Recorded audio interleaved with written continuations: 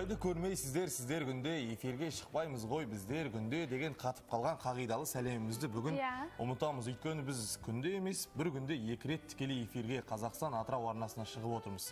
Оның да себебі жоқ емес. Өйткені мемлекеттік мәртебесі бар. Мерейлі мереке азаттығымыздың айшықты көрінісі. Елдігіміздің символына айналған ел ордамыз есілдің жағасындағы ару астанамыздың туған күні. Мен бүгін бірінші рет э, қауышып А, отырмын көрермендермен. Сондықтан амандасып алғаным жөн шығар. Қайырлы күн қымбатты телекөрермен. Біз тікелей эфирдеміз. 45-87-75 біздің байланыс телефонымыз. Студия қонағына қояр сауалдарыңыз болса лебіздеріңіз болса хабарласыңыздар. Біз сіздер үшін әрдайым қызмет етуге дайынбыз. Және WhatsApp нөмірде сіздер үшін жұмыс жасайды. Экранның төменгі жағында нөмір көрсетіліп тұр. Ә, сол WhatsApp нөміріне хабарларыңызды хабарламаларыңызды жазуға ал енді эфирге болады. екі рет шыққанымыздың себебін айтайық. Енді ол әрине елордамыздың туған күні болса екінші себеп елорданың туған күнін елорданы тастап ақжайықтың жағасына атырауға келіп отырған азамат үшін ол азаматты таныстырып өтейік қазақстан республикасының мәдениет қайраткері қайраткері қарымды журналист танымал тележүргізуші оның бәрін айтуға оңай бекзат иә оны көру керек ендеше бүгін біздің студиямыздың мәртебелі мейманы үлгіттар ағамыз бейсен құранбек. Аға ассалаумағалейкум. Қош келдіңіз студиямызға. Атырауға қош келдіңіз. Қош көрдік иә. Атырауға жиі келесіз. Атырауға былтыр соңғы рет тура осы шілде айында келген. бір жыл араға. Тура бір жыл болды көрмегеніме ассалаумағалейкум ағайын. Аман саусыздар ма ел жұрт бала шаға аман есен бе? Мынау қасиетті киелі атырау жеріне топырағына.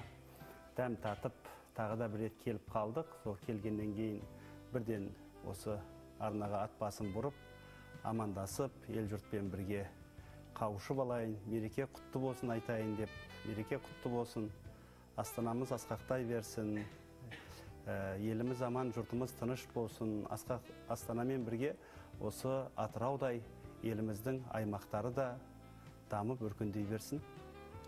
Әр сапарыңызда бір себеппен келесіз аға. Бұл жолғы себебіңізді білсек келген са- ә, с- бұл сапарыңыздың себебі? Бұл сапарға мен негізі ертерек келуім керек болатын.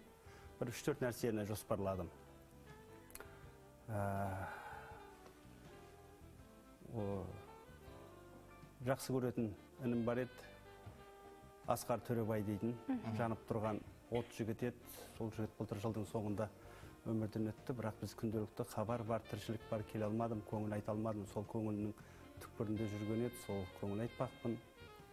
Өмірде бір қайғы бір қуаныш ә, бір жақын сыйлас ағамның қызы осы атырауға келін болып түсіп жатыр. Күні ертең сол құдай бұйыртса сол тойда болмақпын.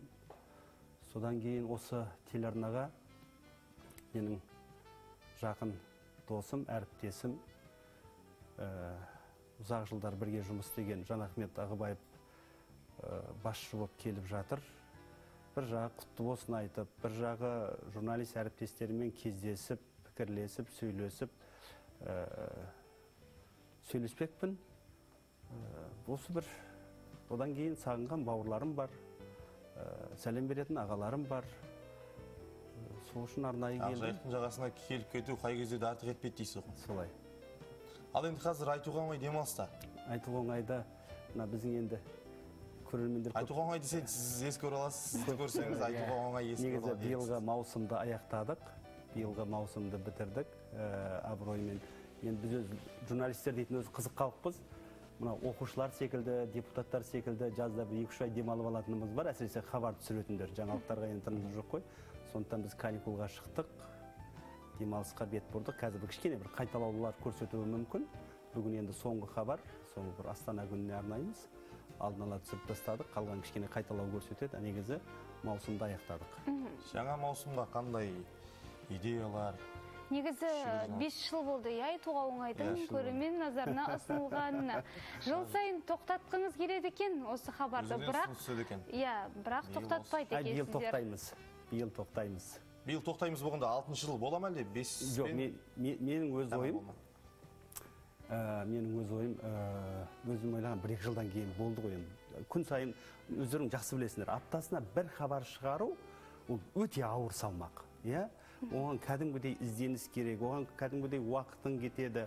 Ә, оған ә, бір жұмыс істеу үшін Иә, соншама қосымша білім, білім, қажет болады. Сондықтан ә, бұл күнделікті шығатын хабарды бір, шығар- бір жыл шығарудың өзі ауыр. Ал бізге ә, Бес. бір жыл болды екі жыл болды бұл болды қояйық дедім. Екі жылдан кейін мен айттым болды доғырайық енді. Екінші Тағы жылында да айтылған нәрсе үш жыл болды одан қояйық дедім төрт жыл болды. Ал бес жыл болды мен биыл енді басшыларға тағы да ұсыныс жасадым. Э, енді биыл енді осымен доғырайық өйткені бұны немесе форматын өзгертейік немесе басқаша жасайық. Өйткені біз дәл осы бес жылдың ішінде біз қазақ қоғамында қордаланып қалған өзекті мәселелерді түгелге жуық айттық. Иә қалды бір екі үш нәрсе. Адам аузы айтуға аузы айтуға адамның аузы бармайтын бір нәрселер бар мен оларға түбегейлі қарсы болдым. Осыларды айтпай ақ қояйықшы. Мүмкін айтуға болмайды деген бағдарлама шығатын шығар келесі жылы. Айтуға болмайды деп? Иә, онда сол ә, елу минут бойына айтуға болмайды деп адамдарды жинап алып бәріміз үндемей бір біріміздің бетімізге қарап отырайық. Айтуға болмайды деп. Шынымен Иә. бес жылдың ішінде қаншама түйткілді мәселелер көтерілді. Ә, тамырынан бастап қопардыңыздар. Шешілген де мәселелер болды. Бірақ өміріңізге кедергісін тигізбеді ме осы. Эмоциялық жағынан иә денсаулығыңызға мүмкін. Қаншама бір ғана нәрсе ә, егер мен біз бұл хабарды жасаған кезде былай істедік. Журналистиканың әртүрлі негізі екі ақ мақсаты бар. Үш ақ мақсаты бар негізі. бірінші елге ақпарат беру. Иә екінші бір танымдық дүниелер беру көзін ашу. Үшінші нәрсе керек болса көңілін көтеру. Біздің телеарналарда қазір тек біз көңіл көтерумен айналысып кеттік. Бірақ функциясын орындап жатырсыз Ә, ал бірақ біз басқа нәрсені алдық. Біз журналистиканы алған кезде мүлде кер- мүмкін біздің журналистикаға қатысы жоқ дүние болар. Біз айттық е біз бір адамға болсын бір пайдалы дүние берейікші. Бір адамға болсын көмегімізді тигізейікші деген мақсат ұстап алдық. Бірінші хабар талқылаған кезде ә, продюсерлеріміз бар редакторларымыз бар ақылдастық. Содан біз осы нәрсені иә медиат план дейтін болады жоғары жақтан нұсқау түседі иә оны орындауға міндеттісің бірақ өзімізде таңдау салынған кезде біз тек осы пайдасы бар дүниені жасауға тырыстық. Егер ол хабар бір адамға пайдасы болмаса мен айтамын енді кейде жастардың күйін ескересің олардың талабын ескересің олар айтады мынаны жасайықшы мынау қызық қой дейтін жағдайлар болады. Иә ондай кезде бұл рейтингтің әңгімесі дейсіз ғой. Жоқ рейтингке біз рейтинг қуаламадым мен егер сенетін болсаңыздар мен бес жылда бір рет рейтингтің не болғанына да мән берген емеспін. Өйткені ол маңызды иә, емес сізге? иә маңызды емес. Өйткені оның қалай жасалатынын жақсы білемін. Бірақ Сондықтан оны- рейтинг жоғары қызықпасаңыз да жоғары емес. Жоғары? Өте жоғары. Өте жоғары иә. Ләйлә сұлтанқызымен бақталаспын деп ойлайсыз өзіңіз? Ә, жоқ ләйлә ләйлә дейтін ол қазақтың ә, бір өзіндік орны бар үні бар керемет қызы ғой. Оның өзінің көрермені бар. Ә, жақсы көретін қыз келіншектері апалары бар. Сондықтан ә, орны бөлек. Мен үшін ерекше құрметтеймін сыйлаймын. Ә, мен, мен ләйлә өте талантты мен өзімді ондай деп санамаймын. Өзіңіз таланттымын деп санамайсыз? Өте талантты деп санайды аға оны мен енді осы айтуға оңай деген атыраудың журналистері сондай алғыр екенін бірден байқатып қояды. Сөздің бәрін мағынасын біледі ризамын иә. Айтуға оңайдың атын кім қойды? Кім қойды? Бақыт беделхан деп естимін. Бақыт беделхан деп естимін. Қазақтың бір мықты ақыны бар бақыт беделхан. Оның алдында бізге дейін екі топ жұмыс істеген. Ә, бірақ бір жыл бойы хабар шықпай тұрған. Сол кезде мен 2012-де жазда шақырған кезде ол аты бар хабар болатын атын қойып қойған ә, топтар жұмыс істеп жатты бірақ болмай жатты. Сондықтан бақыт беделхан айтуға оңай деп қойды деп естідім. Енді сіздердің де аттарыңыз күшті ғой бізбен бірге иә? Үнемі елмен айтып жүрмін бізбен бірге болыңыз деп ай- айтуға болады. Айту оңай да сондай ат бірақ біз айту оңайды елдің есінде қалдыру үшін басында үнемі ә, айтатын болдық айту оңай иә ұлттық арнада айту оңай деп сосын соңында міндетті түрде мен үнемі ойладым. Елдің есінде бұл хабар несімен артықшылық болу керек? Асқар тоқпанов ағамыздың айтқан сөзі бар қазақтың ұлы режиссері. Мынау сахнаға кіру бар сахнадан шығу бар. Осы екеуі өте маңызды. Қалғанның бәрі дігідік дігідік деген. Сол секілді ойладым. Мен хабарды бастау бар хабарды аяқтау бар. Ортасында иә көп нәрсені ә, айтамыз ғой. Бірақ осылар қалай ә, болады деп. Әрине басын ел көреді бірақ соңына мен осы бес жыл бойы көз қарақты көрермен жақсы біледі мен соңына міндетті түрде ойланамын. Қалай қорытам не айтам? Біз айтуға оңай деп айта салғанымызбен оның ар жағы түпкі түйіні не соны айтуға тырыстым. Мүмкін содан кейін де шығар елдің құлағына қайталана берген соң жатталып қалды. Бейсен аға бүгін бізде сценарийсіз шықтық. Иә. Ол өте күшті нәрсе ғой. Еркін сұхбаттасайықшы сізбен әйтпесе осы жат- дүниені қалай? Жалпы біздің телевизияға мен ең алғаш келген кезде бір құпия айтайын ба? Ахмет алияз дейтін менің түрік досым бар. Үнемі тележурналистика эфир туралы пікірталастарамыз айтады. Қазақтың телеарнасындағы жүргізушілердің бәрі қатып қалған дейді. Қолдарыңа ұстап аласыңдар өздерің сөйлегендеріне сендер қатып қалғандарың ана эфирдің алдындағы адамға беріледі. Бұл осы сендердің ауруларың деді бұл менің намысыма тиді не біз ондай бола алмаймыз ба? Жоқ біз әлде ә, тудық па деген әңгіме. Содан кейін алдым да мен бірінші мынау суфлер дейтін риза болып отырмын жаңа айтып отырмын ғой бірде бір суфлер жоқ. Құрметті көрермендер мына інім мен қарындасым өздерінің кәдімгі шын көңілден шыққан сөздерін айтып жатыр. Жаттанды сөздер емес олардың алдарында суфлер жоқ. Мен жетісу телеарнасын басқарамын мен мына әрбір төрт камераға төрт суфлер қойып қойғанмын жастарға үйренсін деп ал сіздер сонда еркін жүргізіп отырсыздар. Мен осындай еркіндік болу үшін суфлердің бәрін алып тастадым. Құлағыма ешкім ештеңе айтпайды. Сосын ана жаттанды суф- әрине дайындаламын жазам сценарий болады бірақ мен оған қатып қалған емеспін. Егер мен өйтіп қатып қалатын болсам бұл хабар хабар болып шықпайды. Түсірілім барысында өзгеріп кетуі де мүмкін Ол- сценарий? тоқсан пайыз әрқашан өзгереді. Тоқсан пайыз эмоциясына шығу иә. өйткені мынау мынау сендерге сендерге де бір ақыл айтып отырайын ба? Айтыңызшы құпияларыңыздың бәрін айта беріңіз. өйткені айтуға оңай ғой айтуға оңай ғой. Иә. Мына өмір мына жастық шақтарың мына студиядағы өмірлерің ертең сен бастық болып кетуің мүмкін. Сен ертең бір үлкен бір бас- баспасөз қызметінде астанада өмірге Қызметте жасау жасауы мүмкін дей ма? Әмин. жұмыс жасауы мүмкін ба? Сондай кезде мына күнді сағынасыңдар. Мына күнде көп адамдар естерінде қалмайды өйткені роль ойнайды. Жүргізушінің рөлін ойнайсыңдар журналисттің рөлін ойнайсыңдар. Роль ойнамау керек осы жерде болу керек. Өмір сүру керек. Осы жерде өмір сүру керек. Кейіпкерлерің кім? Соған қарай бейімделу керек. Бірінші өзіңді көрсетпей. Біздің бірінші өзіңді көрсетпей бірінші кейіпкерді көрсетуге тырысу керек. Мен- міндетті түрде мен деп тұрған жоқпын. Осы жерде қаншама ғажап адамдар бар қарапайым адамдар бар. Соларды көрсетуге тырысу керек. Аға ә, кеңесіңізге көп рахмет. Тағы да айта жатарсыз біз тікелей эфирдеміз. Дәл қазір хабарласқан көрермен бар. Тыңдайық алдымен. сіз келді деп қайырлы күн. Уағалейкум ассалам қалайсыз міне мен болашақ журналист мамандығын таңдамақшымын. Спорт журналисті болғым келеді. Өскенде жасым 13-те енді сізге қояр сұрағым журналист болғанда қандай ақыл ақылдарыңыз бар? Біз жас журналистерге айтар. Сауалыңызға көп көп рахмет хабарласқаныңызға. Он спорт журналисті болғым 17 келеді он жетіде бұл биылғы мектеп қабырғасына қол жайып батыр талабыңа ә, нұр жаусын. Қазір біздің спорт журналистикасы қарыштап дамып келе жатыр. Бір ғана қазспорт арнасы бұрын арман болатын. Мен спорт мен өзім журналистиканы осыдан 25 жыл бұрын тура спорт журналистикасынан бастағам ә, футболшы бола алмай қалдым да спорт журналисті болып келдім. 5 жыл бойына адал қызмет еттім. Газет шықпайтын бір 90 жылдардың бастап қиын кездер ал қазір спорт журналистикасына кең кеңістік ашылған. Ең бастысы сенің өзіңнің шеберлігіңе өзіңнің біліміңе өзіңнің біліктілігіңе байланысты. Өз ізден үйрен не істеу керек дейсің. Қазір қаншама матчтар болып жатыр қаншама жарыстар болып жатыр. Дауысын өшіріп таста теледидардың. Ал да өзің жүргіз. Өзің еркін жүргіз. Сосын үнемі оқы. Үнемі оқы ә, білім жина иә? Басқаларды қара басқалардан оқы. Тек қана біздің қазақтың телеарнасы емес түріктің телеарнасын қара орыстікін қара басқа ағылшындарды қара. Тіл үйрен. Ертең сен қазақтың мынау токио олимпиадасы келе жатыр. Одан кейінгі олимпиадалар бар жарыстар бар. Солардан қазақ тілінде бізге сауатты жүргізетін ә, комментаторлар ә, спорт журналистері керек. Болмаймын дейтін әңгіме жоқ.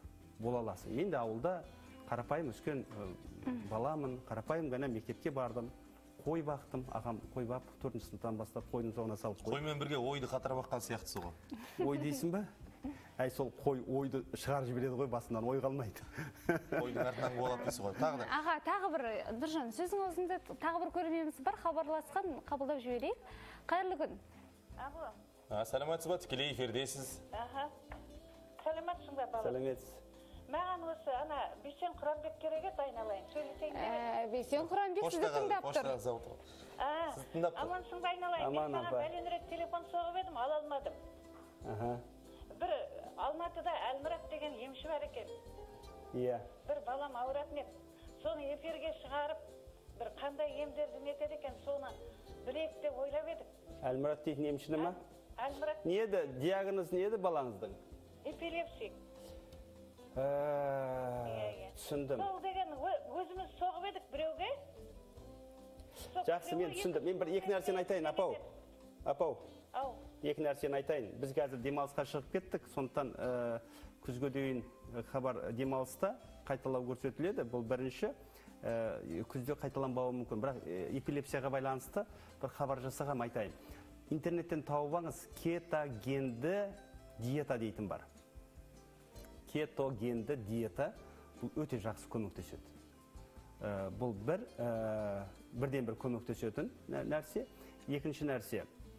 Өткендегі бір хабардан сол эпилепсияны жазған жігітті білем мынау ашырқану дейтін бар. Аптасына бір күн ашырханада бір ораза ұстайды ораза ұстайды. Аптасына екі күн үш күндік осындай нәрселер көмектеседі. Өйткені жазылған адамдарды білем үшінші аз аздан аз аздан осы көктемде жаздан бастап салқын суға құйдыра беру керек. Салқын суды аз аздан енді суық тиіп қалмайтындай осы жазда бастау керек. Ә, құя беру керек. Өйткені ана мидың м, нейрондар. нейрондары жұмыс істей ма жоқ әлде қалай әсер ететінін білмеймін. Мен осылай эпилепсияны жазып алған адамдарды білемін. Яғни бірінші кетогенді диета екінші жаңағы ашырқануды аптасына бір рет ораза ұстау немесе екі рет үш рет оның арнайы бір іздеп зерттеу керек. Үшінші су құю. Басқа жолын мен білмедім.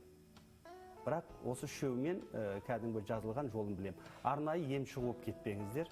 Эпилепсияға немесе жаңа сал ауруына көмектесті деген емшіні әзірге көргем жоқ.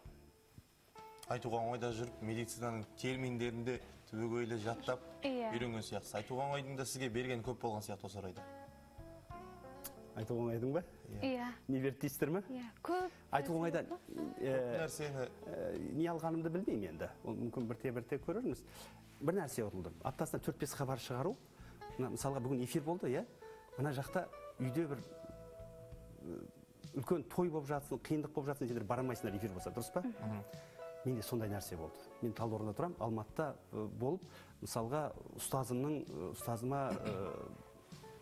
топырақ сала алмадым биыл. Алдын ала барып қайттым бірақ сала алмадым өйткені эфир. Мысалға қызым мектеп бітіреді мектеп бітіру кешіне жаңа бір несіне бара алмадым дегендей бір. Үлкен бір асқа бара алмайсың кейде бір көңіл айта алмай қаласың. Жақсы көретін асқар төребай бауырым осы жерде өмір өткенде келгің келген эфирің басқаң шыға алмайсың. Сондай дүниелер болады сондай нәрсе ғана бір байлаулы ат секілді ә, арқандаулы ат секілді болып қаласың. Ал былай ә, адамдармен араласу адамдармен сөйлесу ә, әртүрлі ә, білімді жандармен ә, сұхбаттасу ол әрине әрі рухани ә, әрі басқа да азық береді деп ойлаймын. Енді ватсапқа келген хаттарды оқиын. Көрерменіміздің көңілі қалмасын. Атыраудан азамат сізге жалын сәлем жолдап жатыр. Сәлемет аман есен жүріңіз аға дейді. Тағы да сәлеметсіздер ме бейсен аға сіз нағыз журналист деген атқа лайықсыз. Рахмет сізге. Біз сіздей тілекш- тілекшілерімізбен тілшілерімізбен мақтанамыз. Биік шыңдардан көріне беріңіз. Сіздің әр айтқан тұшымды ойларыңыз жастарға үлгі дейді. Хат енді толассыз келіп жатыр. Өскеменнен көріп отыр екен сізді. Әмір есімді көрерменіңіз. Бейсен аға сізге зор денсаулық ауырмаңыз. Сізді үнемі қараймын дейді бағдарламаны. Ә, сәлеметсіздер бе бейсен ағаға жалынды сәлем дейді. Сәлем деген көп қандай кітап оқисыз деген қызықты сұрақтар келіп жатыр. Журналист. көптеген сауалдар Сауал көп енді, барлығын иә дәл қазір тағы да көрермен хабарласқан екен. Біз сұрақ қоя алмайтын сияқтымыз ғой бізбен гөрі айтуға оңай болатын сияқты. Иә тыңдап отырмыз қайырлы күн. Тікелей эфирдесіз дәл қазір тағы да көрермен хабарласқан екен дауысыңызды қатты шығарсаңыз теледидардың дауысын басып қойсаңыз бізге жақсы естілер еді. Алло? Алло сәлеметсіз ба? Тікелей эфирдесіз. Бейсен құранбек сізді тыңдап отыр. Ал мынау мына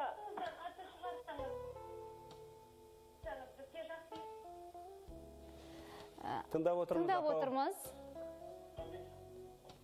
Алло сәлеметсіз бе? көрермендерім апалар ғой апалар әжелер жақсы көреді. Мен өзі ата мен апаның баласымын. Сен балам келгесін соны көргесін сол кісінің айтуға оңай бағдарламасын жақсы көретін адам едік. Ой алла разы болсын. Ал бейсен қарағым сенің түрліше кеңбетіктердің барлығын өзің осы эфирге шығарып жүрсің. Бұрында сізді осы үзбестен қарап отырамын мен әли ғиззатипов атындағы құрманғазы ауданынан сөйлесіп отырмын. Аман болыңыз, апа. әң- әңгімелесіп бір дәмдес болған балам едіңіз? Ой алла разы болсын. Балаусаның апасы ғой мынау барлығында балаусаның апасысыз ба? Балаусаның апасысыз ба? Иә иә иә. Ой апау қалыңыз жақсы ма? Жақсы жақсы шүкір шүкір. Қолыңыздан дәм татып едім былтыр келгенде. Биыл ауылға қашып кетіпсіз ғой. Дұрыс айтасың айналайын. Аман болыңыз аман болыңыз. Жемісті болсын айналайын. Ал- осы осы еңбегіңді халық қадағалап отыр ғой енді барлығын. Иә. Алла разы болсын апау. Иә иә. Бала шағаның қызығын көріңіз. Ғұмырымыз ана жаққа кеткенше сенің осы мына бағдарламаңды көрігіне отырамыз тек сағатқа қараймыз да отырамыз. Алла разы болсын апау. Мына халықтың сауабын алып жатырсың сол өзіңе айнала разы болсын енді. Рахмет апау. Болсын ал еңбегің жемісті болсын. Аман болыңыз аман болыңыз. Көп көп рахмет. Елдің тілегі атыраулық ағайындардың туыстардың сізге деген ниетін естіп жатсыз.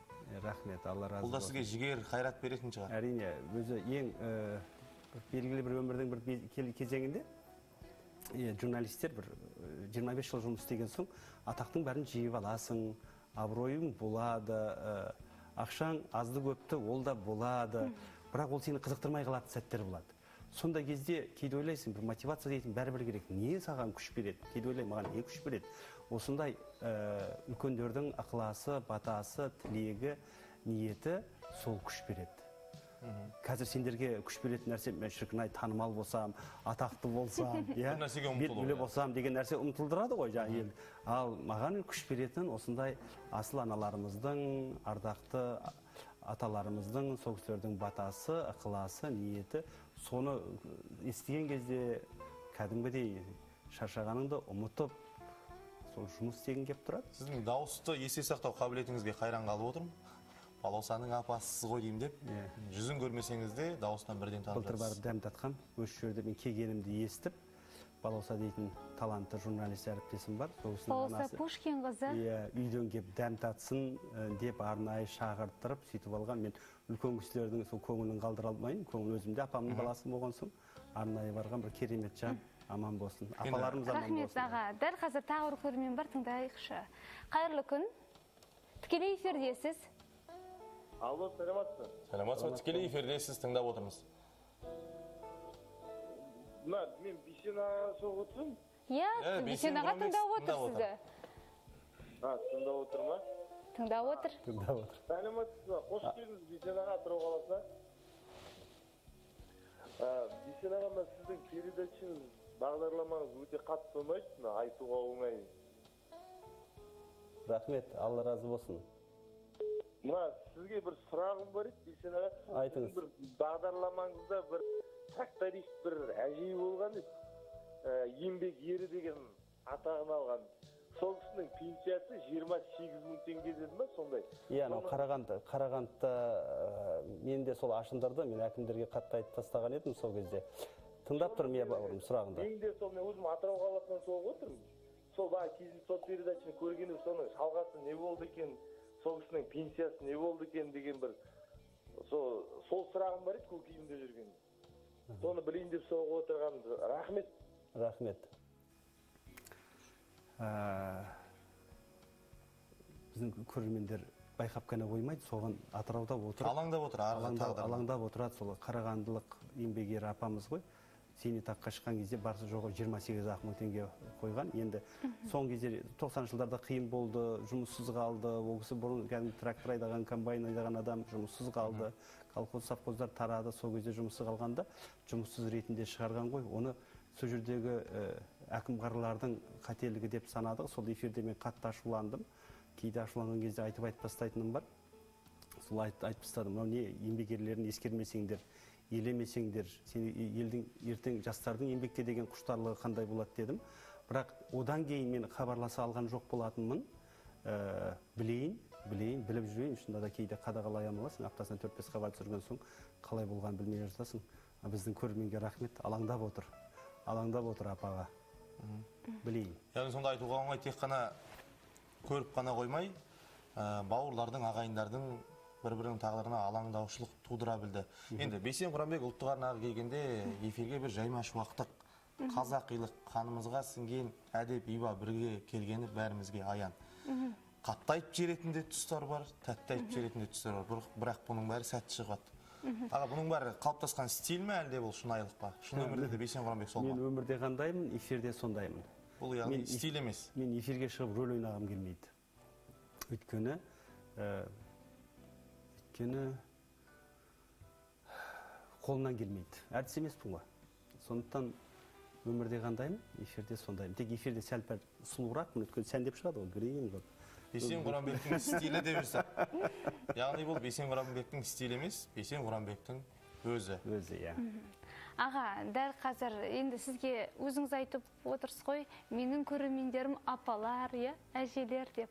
Дәл қазір сізге атыраулық көрермен өзінің дәмін беріп жіберді ыстық бауырсақ келе жатыр студияға. Сол бауырсақ суып кетпей тұрғанда енді ауыз тисеңіз.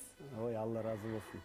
Түскі уақыт халықтың тілегі қуантады дедіңіз ғой. Бауырсақ Иә. одан сайын қуанту керек сізді енді бұл бауырсақты беріп жіберген атыраулық тұрғын халел досмұхамедов атындағы университеттің оқытушысы тарих ғылымдарының кандидаты нағима салмурзина деген апайымыз. Көрермен. Өзі келе алмай қалды алайын. беріп жіберді. Иә бағасын содан береді. Қадірлі көрермен нағима апайымызға да. Алғыс айтайық иә? Бейсен құранбек ағамыздың келетінін біліп бауырсақ пісіріп дайындап студиямызға өзі келе алмаса да Иә. дәмін беріп жүрген. Рахмет. Тағы бір көрермен хабарласса тыңдайық. Қайырлы күн. Қайырлы күн сәлеметсіз бе? Алло саламатсыздар ма? Саламатсыз. Тыңдап отырмыз. Тікелей эфирдесіз. Бейсен құранбек бауырымызға атырауға қош келдің айтамыз. Мынау қазақстан атырау тележурналистері сіздерге рахмет. Осындай қазақ телевизиясының алдында жүрген бауырымызды студияңызға келіп атыраудың жұртшылығына көрсетіп жатқандарыңызға енді менің қояйын деген сұрағым бұрын қазақ телевизиясының мектебі болды. Анау қайнар ағаларымыз апаларымыз осы жастарды үйрететін бір мектеп болып еді. Сол мектеп қазір жоқ сияқты. Ә, сондай бір мектеп ұйымдаса ма? Сол туралы не ойлап жүр екен? Сол жөнінде білгім келеді. Рахмет ағасы. Бауырсаққа рахмет. Дәмді ме екен аға? Дәмді емес өте дәмді Өте. дәмді алла разы болсын. Ыстық ықыласы ғой апаларымның мен бауырсақты жақсы көретінімді білген ғой. Апалардың балалардың бәрі бауырсақты жақсы көреді. Мынау бір керемет менің апамның бауырсағында екен. Алла разы болсын. Мектеп туралы айтты ма? Иә мектеп туралы. Журналистикада бұрында мектеп бар еді. Қайнар олжайлар басқа да журналистер салған сара жол бар еді. Қазір сол мектеп бар ма дейді? Мынаның мектебі деп айта алатындай. Негізі жер жерде қазір нақты мектеп бар деп айта алмаймын бірақ жергілікті курстар көбейіп кетті. Қазір жастар болсын бір кішкене бір елдің алдына шыққан адамдардың бәрі өздерінің курстарын өткізіп бір қалыптастырып жатыр. М, алматыда бір ә, тележұлдыз дейтін мектеп жұмыс істеп жатыр. Бесінші студияның өзінің мектебі бар ғой деймін асхат садырбай үйретіп жатыр. Жергілікті жерлерде көптеген журналистер үйретіп жатыр. Сондықтан біз ә, жетісу телеарнасының жанынан өзіміз де жастарды жиып алып бір өзіміз арнайы дайындаймыз. Бірақ бір жаңа сіз өте дұрыс айтып отырсыз бір үлкен мықты мектептер керек. Бір жылдық кемінде әйтпесе екі жылдық мектептер керек. Сол мектептен өз, өсіп шығатын кәдімгі үйрететін нәрселер керек. Ә, ал қазіргі біздің үйретіп жатқандарымыз үзіп жұлып қана үзіп жұлып қана ә, бір үзік үзік дүниелер ғана сондықтан ә, уәжіңіз орынды. Бола жатар деп ойлаймыз. Тағы бір көрермен бар. Тыңдайық. Қайырлы күн. Тікелей эфирдесіз сіз бізбен бірге студияда бейсен құранбек. Қонақта. Не? Бейсен құранбекке бір тілегімді айтайын деп едім. Айтыңыз естіп отыр сізді апалар ғой дей ме иә. Айналайын. Ау. Ау апа. халықтың сауабын Бі- мен жібермей айтуға оңайды қараймын. Алла разы болсын. Тек денсаулық өзің басыңа амандық бергей алла саған разы болғай. Сенің айтуға оңайыңды қарағанда кейде күлеміз кейде жылаймыз. Сен жіберген сен жинаған адамдар әртүрлі ғой. Біреу былай келеді біреу былай келеді. Бірақ бәріне көмектесіп бәрінің бабын тауып бәрінің жағдайын тудырып жіберіп алла саған разы болсын. Аман жүр бала шағаң қызығын көр алла разы менің болсын. айтарым сол. Алла разы болсын апа айтқаныңыз келсін апа рахмет. атыраулық апалар дайындап қойғансыздар ғой деймісіздер хабарласыңдар бе- жоқ бейсен келеді бізде бәрі шынайы. Шынайы. Ма? сценаристсіз бізде бәрі. Жоқ біліп тұрмын ғой қалжыңдап жатырмын рахмет. алла разы болсын апа. Бала шағаның қызығын көріңіздер. Мына э, анау экомет дейтін э, компанияда жұмыс істейтін салтанат байқошқарова дейтін келіншек бар. Бір күні суретке түсейікші дейді хабардан кейін суретке түсіп жатқан кезде айтады ой ана шешеме апарып беремін қуанып қалатын болды ғой дейді. Мен қалжыңдап жатырмын осы әй салтанат үнемі қалжыңдаса береміз өзі. Не осы сендей әдемі келіншектер неге өздері үшін түспейді? Неге сол апаларыңа енелеріңе апарып бересіңдер неге солар үшін түсесіңдер десем дейді. Әй бейсен дейді. Біз түссек дейді бізде басқа ойымыз болуы мүмкін дейді. Ал апа әжелер жақсы көрсе олар ешбір риясыз жақсы көреді. Сен бақытты журналистсің ғой дейді. Мен де хабар жүргіздім деп айтып отыр. Мені өйтіп ешкім жақсы көрмейтін сені жақсы көреді сен бақытты журналистсің ғой дейді. Сондықтан мына апа әжелеріме хабарласып жатқан мың да бір рахмет. Аман болсын. Сіз өте бақытты журналист сияқтысыз. Солай. Дәл қазір тағы бір көрермен бар хабарласып отырған. ватсапты сосын оқимыз. Дәл қазір тыңдайық. Ақтаудан хабарласып отыр екен көрерменіміз. Қайырлы күн. ағайын да көріп көреме алло? Тыңдап отырмыз. Тікелей эфирдесіз. Алло? Иә иә тікелей эфирдесіз. Мен деген атым боранбай мына ақтау қаласынан звондап отыр мына бейсен құранбек бауырымның мына атырауға келгені біздің ақтауға да жақындап қалғаны деп ақтауға да келетін шығар деп ақтауға көктемде барып қайтқам көрісуге онда білмей қалдық қой тағы да келе берсең болады. Сондықтан мен саған айтатыным көптен көп рахмет. Сенің ай- мына беріп жатқан передачаларың өте жақсы. Мына поле чудес дейді ғой. жиырма бес жыл ма отыз жыл болып жеңістер кітабына жазылды ғой. Сен сол, сол сияқты жалғастырып осыны өмір бақи осы жалғастырып осыны еш уақытта тоқтатпасаң екен деп ойлаймын. Сонда қазақ қазақ болып қалады. Шаршап кетесіңдер ғой ел жұртты шаршатып аламыз ғой. бауыр болады деп ойлаймын. Алла разы болсын дүке құдай көңіліңізді көтерсін ниетіңізге рахмет. Көп көп рахмет хабарласқаныңызға. Тағы бір жылға созылатын сияқты ғой Маңғыстауда. Түрімен хаб- айтуға оңай Иә. алты жылда дайын болыңыз аға. Тағы бір көрермен хабарласып жатыр. десе де оған дейін ватсаптан нүкістен сізге сәлем жолдап жатыр. Бейсен аға алла разы болсын көптен көп рахмет дейді нүкістен қарақалпақстаннан. Бейсен аға атырауда қанша күн болады дейді осындай сұрақтар. Мен қат қабат оқып кетейін қысқа нұсқа жауап берсек. Бейсен аға сіз ләйлә ханым мен сүйікті тележүргізушісіздер дейді. Астана күні құтты болсын тікелей эфирден ермекова сезім мен нәсипа меруерт деген адамдарға сәлем жолдаңыз деген дүниелер де келіп жатыр сәлемет болсын. Қазақстан атырау үшін бейсен аға аллах тағала бар игілікті нәсіп етсін. Алла разы болсын. Атырау жастарына дін мәселесі жөнінде бірер ауыз сөз айтып жіберсеңіз деген сауалдар да бар. Өтініштер. Бейсен құранбек қай елдің тумасы? Атыраудың күйеу баласы деп естіп едік. Сол рас па? Ақтөбенің күйеу ақтөбе ғой деймін иә сәлеметсіздер ме атырауға қош келдің. Бейсен аға сіз қазір неше жастасыз? Туған күніңіз қашан? Рахмет дейді. Бейсен құранбек өте тамаша журналист. Әрқашанда еліміздің халқымыздың сіздей азаматтары аман болсын. Жүргенбекова үміт есімді қостанайдан амантоғай ауылынан боламыз. Бейсен ағамызға зор денсаулық тілейміз дейді. алты көріп отыр екен аға Иә, сізді бізді де қуантып түкпір-түкпірінен Мереке, хабарласып бейсен аға сұрағым бүгін концертті сіз жүргізесіз бе дейді. Енді ол бейсен ағаның концертке келмегені иә. айдана анық. Концерт жоспарында жоқ. Иә. Сіздің есте сақтау қабілетіңіз өте жоғары ғой. Енді кезек қысқа нұсқа жауап беріп кетсеңіз сұрақтарға атырауда неше күн боласыз? Атырауда екі үш ақ- екі үш күн боламын. Екі үш күн боламын. Енді кім біледі ар жағында ә, жоспарлар өзгеріп жататын болса мүмкін тағы да болуы мүмкін бірақ екі үш күн ғана енді екі үш күннің өзі өте көп деген сөз. Өткен жолы екі үш күн болдым соны бір екі үш ай болған секілді әсер алып қайтқам. Қазір де таң атпастан бері ертеңгісін ғана ұшып келдім содан бері сондай әсерлер ә, қалған нәрсенің бәрін енді жауап бергенмен онша бір ойламаймын енді. Жасымды сұрайды. Иә. иә. Жасым Ә, тағы олай болса тағы бір көрермен бар тыңдайықшы ха- хабарласқан. Тікелей эфирдесіз қайырлы күн. Бізбен бірге бағдарламасы. Тыңдап отырмыз. Алло.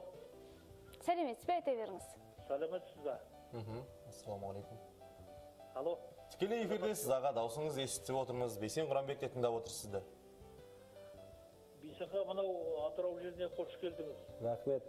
Сіздерді бір көп ә, қарайтын көрерменнің бірі ретінде сіздің өмірбаяныңыз жөнінде сіздің өмірге ұстанымыңыз жөнінде өте жақсы таныспыз алла разы болсын. ал енді бір мынау қазақтың азаматы есебінде теле маман есебінде сұрайын дегенім ә, осы жалпы бағдарламаның ғұмырлы болуы үшін соның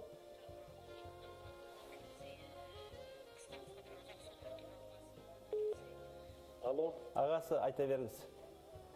Саламатсыздар А, мен мынау бейсақаның атырау жеріне қош келдіңіз айтқым келіп отыр. Рахмет рахмет. Хабарласқаныңызға рахмет. Жоқ жоқ бірдеңе айтқысы келді осы? Сұрағыңыз бар ма?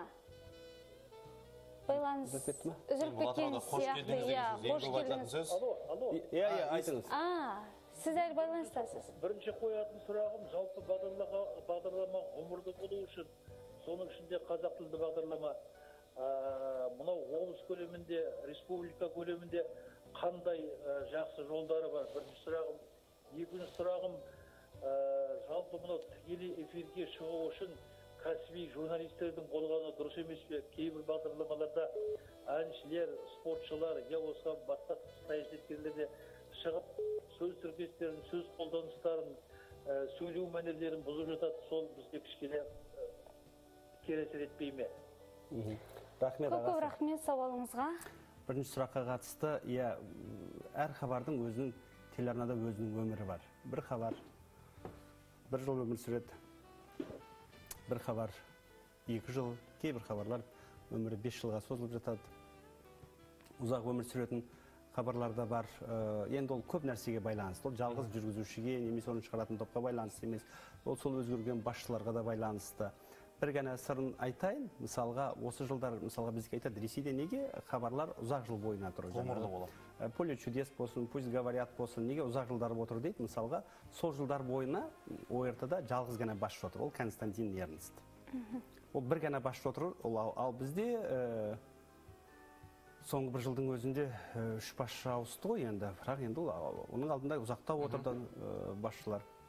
Сонда басшылар жиі жиі ауысқандықтан ол э, команда да ауысады бағдарламалар да ауысады ол заң нәрсе.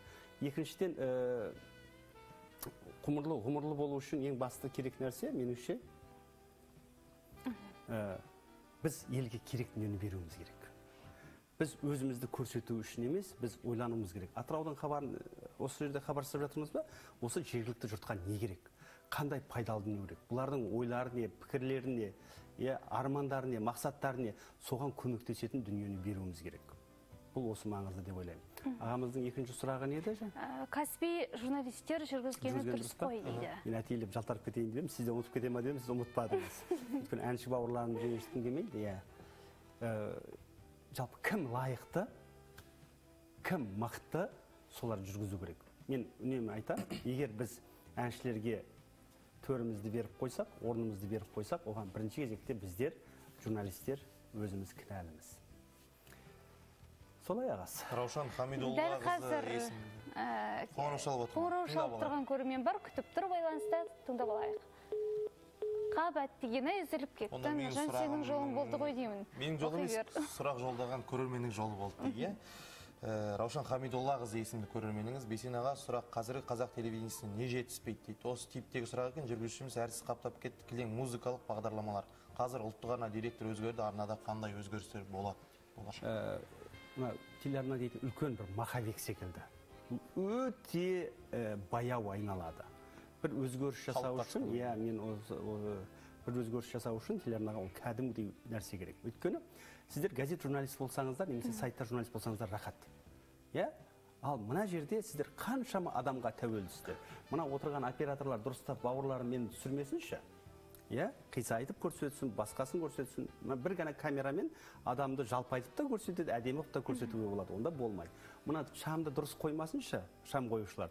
Онда қап қара болып бетің түнімен жаңағы бетің ісіген адам секілді болып тұрасың. Дыбыс режиссерлар дабысыңды жөндеп бермесінші. Иә? Режиссерлар э, дұрыстап қарамасыншы иә? Мына жерде отырған орның ыңғайсыз болсыншы. Соның бәріне кәдімгідей тәуелдісің. Сондықтан телеарнаның жұмыстары өте қиын махабик өте баяу айналады өзгерістер баяу жүреді. Бірақ э, қазір соңғы басшы келгелі біраз өзгерістер байқалады. Таңғы эфирде кешкі саяси эфирлер. Ең үлкен жаңалығы соңғы басшының жаңалығы бұл саяси маңызды хабарларды эфирге шығара бастады. Міне. Ең үлкен жаңалық осы өйткені біздің телеарналарда көбісі сауық ойын сауық көңіл көтеру болып кеткен олай болмау керек. Жоқ болғанда отызы ақпараттық танымдық ақпараттық болу керек отызы танымдық болу керек қалғандары көңіл көтеру болса да жай аға дәл қазір сізді сізбен кездескісі келіп сізге сыйлығын бергісі келіп отырған көрермендеріміз бар. Дәл қазір студиямызда дәл қазір шақырайық. Меруерт апай бізге қонаққа келді. Бізге емес сізге келді. Сізді көруге келді. Заманалайын бір екі Иә. күн бұрын сіз туралы жұртшылыққа әлеуметтік желі арқылы айтқанбыз. Бізде қонақта бейсен құранбеков отыр енді хабарласқан көрерменді көп шексіз. болды. Әрине барлығын шақырар едік. Тек студияға сыймайды. Ватсапта ең да қазір бірінші жүзге жуық хабарласқан. хат келіп тұр.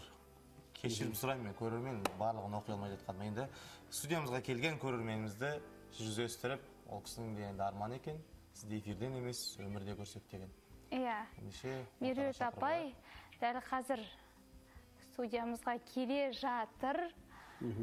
Жалпы жұлдыз болған қиын ба негізі? Іздеушілер көп қой. Сізді көшеде- жұлдызсыз ғой енді шынымен. Иә көшеде болсын. Кез келген жерде жиі ма мазалай ма? Жиі ма? Мен ана кепка киіп алып жүремін бірақ бәрібір танып қояды. Бәрібір танып қояды. Сондықтан ә, мен қарапайым қалаймын өмірде сөйтіп жүре беремін әңгімелесемін сөйлесемін та- ә, танысам ә, тек маған ешқандай қиындығы жоқ. Меруерт апай. Келіңіз меруерт. Келіңіз. Қолыңызда сыйлық та бар екен. Ал міне эфирден көріп жүрген бейсен сәлеметсіз бе? Қандай азаматтар? Қолыңызды алу. Иә. бізге бір үлкен ғанибет Алла разы саламатсыз ба қош келдіңіз атырау апай. Рахмет. Отырыңыз. Рахмет. Бұл енді сыйлық бізге емес екен айдан анық. Сізге емес. Так шегімізді енді әрине көріп жатырмыз. Ә, танытып болып жатырмыз. Шығармашылық өнеріңіз өте жоғары деңгейде. Ә, әрдайым да халықпен бірге болыңыз. Экраннан түспеңіз. Біз сізді әрдайым да ток шоуыңызды күтеміз. Уақытылы. Ә, енді мына бір сыйлығымды түнде сағат 12.30-да бір ойыма келді осы. Өзім қолөнер шебері болғандықтан ә, әрбір туындылар ақынның шығармашылық жаңағы кейбір бір шабыты болады ғой түнде келіп қалатын. Сол сияқты түнде келді. Бұл жерде төртке дейін жасапты осыны апай. төрт төртке дейін жасадым таңғы. иә ойыма былай да былай да түсіріп. Содан сізге мына жерде атыраудың байлығын енді сізге ә, ауылға алып кетсін еліне көрсетсін иә таңдандырсын деп. Мынау біздің бекіре балығымыз мынау біздің жайығымыз. Иә. Мынау біздің жаңағы екінші осы атырауда табылған алтын адамымыз. Иә. Мынау біздің киіз үйіміз. Иә. Айналасындағы мынау шұбат беретін түйелеріміз. Иә. иә боз торғайымыз мынау киіз үйдің түндігіне келіп жаңағы жұмыртқалап жатыр. Бұл да бір бақтың бақыттылықтың символы. Негізі қазір айтады ғой мынау халық жаңағы мынау әлгі қалай дейтін еді? Экологически чистый продукция дейді ғой. Экологиялық таза, табиғи өнімдер. табиғи өнімдерге жақын жаңағы. Сондықтан да бұл жерден барлығы табиғи. Мынау өзі жасаған қолөнер шебері болғасын қалай жасағанымды айтып кетейін. Бұл тақтай кәдімгі тақтай. Не ә, тақтай. Бұдан жаңа химиялық ешбір жаңағы иіс ештеңе шықпайды іліп қойсаңыз үйге. Ал бұл өзіміздің бекере балығымыз бұл макет емес. Бұл кәдімгі әлі иісі балықтың иісі шығып тұрған бекере балығымыз. Иіскесеңіз әлі иісі бар. Ал тек сарғыш мынау алтындап қойдық. Ал бұны да киіз үйде де өзіміз фетра дейтін иә фетра дейтін жаңағы матадан жасаған киіз үйіміз. Енді қалғанын өзіңіз білесіз. Бояу бояу әлі кеппеген дұрыс. Енді табыс етіңіз енді сізге табыс етейін. Сіздің ә, табыс етуіңізден таныстыруыңыз көп болды деп отырсың ғой рахмет. Құтты болсын. Сізді жасалғанның сыйлағандықтан барлығын енді айтуға оңай. Иә. Түнгі төрт таңғы құдай қолыңызға қуат берсін.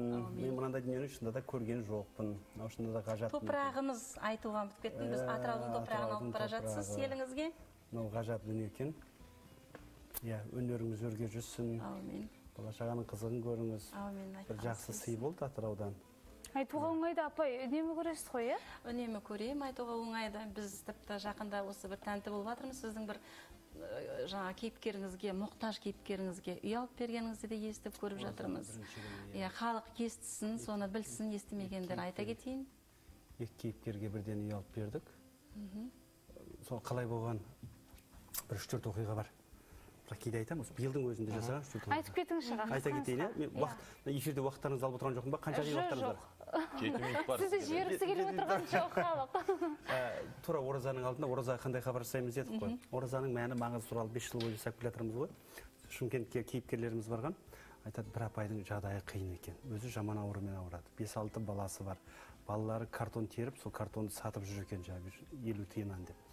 Соны не істейміз деп ана журналистім жас жай жас журналист ақжелең дейтін қызымыз барған жылап тұр әй бірдеңе қылайық көмектесейік бүкіл нелерін ал деректерін алып сөйтсек тағы бір шымкенттен бір ә, келіншек бес баламен далада қалған баратын жер басар тауы жоқ оны да алып содан біз өзімізге мақсат қойдық.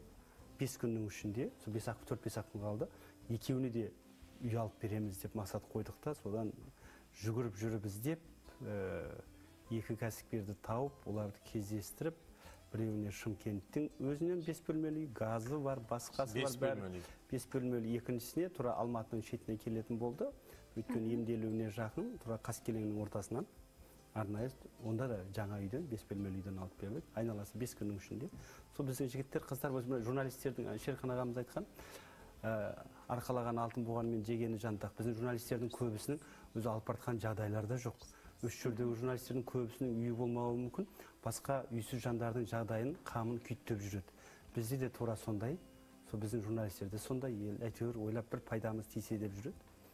Сондықтан тақырыбыңыз айтуға оңай деп басталғанмен ток шоу журналистердің жағдайы айтуға Оңай қиындығы ма? емес па? оңай емес. Жоқ енді тәубе тәубе өйтіп жылауға да болмайды. Еңбектенемін дейтін адамға Қол аяғың сау адамға болса. Иә. иә қол аяғы сау адамға мына дүниеде әйтеуір аштан өлмей екі күрек меруерт апай ә, бейсен ағамен эфирден шыққаннан кейін асықпай сөйлесеміз иә? Дәл қазір тағы бір көрермен бізге келіп отыр сізге. Сыйлығын ұсынғысы келеді сіздің батаңызды алғысы келеді сізге тілек білдіргісі келеді. Енді сізге тілек білдіріп студияға келгісі келгендер өте көп. Иә. Студияның оны сыйдыратын орны да жоқ. Бірақ көңіл бар көрермен сіздер сиятын. Сондықтан ниет тілектеріңізді Иә, ватсаптан да білдіріп иә. жатсыздар ватсаптан оқып жіберсең болады. Мен қазір қаншасын оқып үлгереді екен? Сіз өте әділ журналистсіз деп біреу бағасын берген екен. Ә, қандай оқу орнын бітіру керек дейді енді ол енді. Иә. тағы да. Жеке өзіңізге қойылатын өмірдегі ұстанымыңыз дейді енді. Менің енді қайсысын оқырым көп ассалаумағалейкум. Телефон қатып болып жатыр. Иә көрерменді шақырайықшы. тұщығұдықтан дейді сәлем дейді. Эпилепсияны қайталап жібересіздер ме дейді оны енді бізде кешкі эфирде бұл қайталап отыр бекзат иә? Содан көресіздер эпилепсияның емі туралы ағамыздың айтқанын енді. Жалпы негізі білімі бар дәрігерлерге жүгінген дұрыс қой кез келген ортада ендеше Паризат келе жатыр. паризат қарындасымыз. біздің көрерменіміз. Сәлеметсіз қош келдіңіз атырауға. Рахмет. Жайғасыңыз. Қуаныштысыз ғой. жүзіңізден көрініп тұр ағаны көргеніме өте қуаныштымын. Ол кісіні айтуға оңай арқылы бүкіл қазақ елі таныды сізді. Және бана өзіңіз айтып отырсыз сөздің арасында үлкен әже апалар ағалар аталар көрермендерімізді ә, дегенмен үлкен кісілер болғанмен де бізде үйде үйімізде үлкен отбасымызда үлкен болғандықтан ә, бізде сол арнаны ә, айтуға оңайды қараймыз үнемі. Бағдарламасын. Сіз қанша жанға қанша қиыншылықта жүрген адамға демеу бердіңіз? Және жас дарындарға демеу жылылық ұялаттыңыз? Өзіңіздің бойыңызда тұнып тұрғанына имандылықтың арқасында барша жанға танымал болып осындай өзіңіздің жылы жүзіңізбен барша көрермендеріңізді жылытып отырсыз. Біз сіз жылы болғандықтан бүкіл осы бана, бана жаңадан бір бағдарлама басталғаннан бері телефонға және мына whatsapp желісіне қаншама көрермендер сізді көруге асығып отыр. Ә, осындай жүзіңізден таймаңыз. Терлетіп жібердіңіздер ғой. Жақсының жақсылығын айт нұры тасысын дейді. Сондықтан сіздің нұрыңыз әрқашан ә, таси берсін Ә, алла сізге ұзақ ғұмыр берсін денсаулық берсін. Сізге құран ілімдеріне кіріспе деген кітап алып келдім. Ә, бұл кітапты ә, менің үйдегі отбасымдағы аға апаңыз сыйға тартып жіберді. Ә, бейсен аға бүгін келіп жатыр деп едім. Осы кітапты біздің атымыздан сәлемдеме қылып бере қойшы деп сізге ә, тарту етті. Осы кітапты оқып атыраулық көрермендеріңіз есіңізге түсіп отырсын. Алла разы болсын. Сәлем айтыңыз үйге. Ең қасиетті кітабымыз құран ғой. Иә. Рах- рахмет рахмет. Бала шағасының қызығын көрсін. Сәлем айтыңыз рахмет көп көп. Аман жүріңіз қайда жүрсеңіз де ә, осы бағанадан бері көріп отырмыз ә, телеарнаның ішінен. Ә, өте бір адамға сондай рухани азық беретін қанша адамға көмек қолын созып отырғандықтан біз де сондай сіз сияқты болып көмек бергіміз келеді қолымыздан келгенше. Берілесіздер үлкен шаруаны болсын. Алла разы болсын алла разы болсын. Ал енді қолыңызға құран тиді атырауды еске салатын ақжайық пен бекірені сыйға тарттық ыстық бауырсақ пен ыстық ықылас та жетті. Бүгін енді атыраулықтарды мемлекеттік мереке астана күнімен сіздің құттықтауыңызды естіп бағдарламаны қорытындыласақ. Көп сұрақтар қойылмай қалды иә. Иә. көп тілектерді тыңдай алмай қалдық уақыттың тапшылығынан десе де осыған да ризамыз ғой енді. Иә біз де көргенімізге қуаныштымыз аға. Рахмет. Рахмет Көп нәрсе түйдік ықыластарыңа сұрақтарыңызға рахмет. Мынау жасап жатқан сыйларыңызға рахмет. Тіпті ба- ыстық бауырсағын беріп жіберіп таң- таңғы төртке шейін тыным таппай мынандай арнайы сый әзірлеп атыраудың топырағымен бірге иә. Мынандай қасиетті кітап сыйлап жатсыздар алла разы болсын. Жалпы бұл өмірде журналист үшін ең үлкен ә, баға ең үлкен атақ ол елдің ә, ықыласы елдің ниеті. Егер де бір осындай елеп ескеріп осындай сый құрмет жасап жатқан кезде мына бекер наныңды бекер жеп жүрмегеніңді түсінесің. Ә, мүмкін әуел баста ә, журналистер өзі үшін ұмтылып өзін таныту үшін жұмыс істеуі мүмкін бірақ келе келе бәрібір елдің мүддесі ә, нағыз журналист үшін ол бірінші кезекте тұрады. Одан жоғары одан үлкен еш нәрсе болмайды. Сондықтан мен айтар едім егер біз астана дейтін болсақ та астана алыстау көрінгенмен ол астана ол біздің астана. Мысалға мен атырауға келетін болсам ол менің атырауым деп келемін. Өйткені бұл менің қазағымның жері. Сол секілді атыраудың әрбір азаматы мысалы мен тұратын жетісуға келген кезде ол балпаң балпаң басу керек. Бұл менің жетісуым деп. Ол шығысқа баратын болса ол тарбағатайдың төбесіне тұрып «Ме- бұл менің тарбағатайым деп айту керек. Бұл қазақтың кең байтақ даласы бұл біздің баршамызға иісі қазаққа ортақ дала. Бабаларымыз айтамыз ғой найзаның ұшымен білектің күшімен осының бәрін бізге аманат етіп қалдырған. Енді осы жерді ә, кейінгі ұрпаққа жеткізу осы елді алдыңғы елдердің қатарына қосу ол біздің біздің алдымызда біздің буынның алдымыздағы ағалардың кейінгі жастардың еншісіндегі үлесіндегі шаруа. Қазақ айтады итің жаман дегенде өлгенім ай дейді. Біз ә, осындай бір намыс болса деймін біз ә, астанаң жаман деген сөз иә басқалар керек «Ей, астаналарың нашар екен деген сөз ол бізге ауыр тию керек.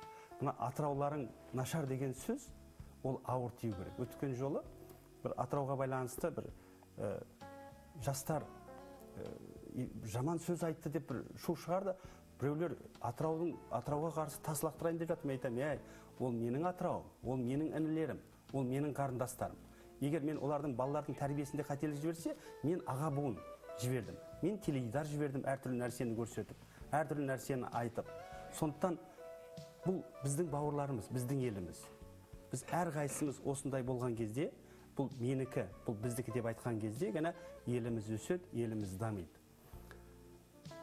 Астанамыз асқақтасын. Иә атыраудың абыройы арта берсін.